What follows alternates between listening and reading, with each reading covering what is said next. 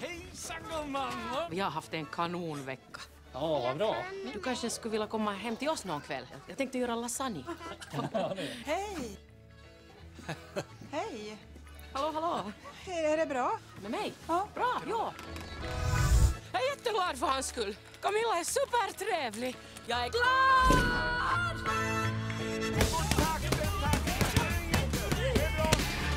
Du skrämmer de andra. Jag vill gå attackkurs. Du är snäll. Du vet väl inte vad jag tänker göra med dina ungar?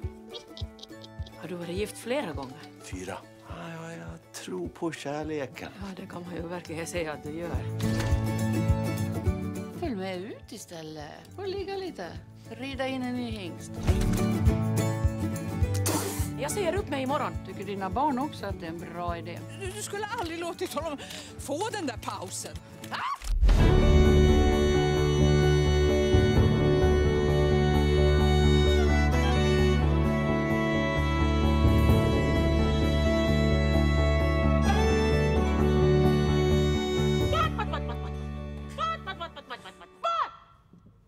Förvirra motståndaren.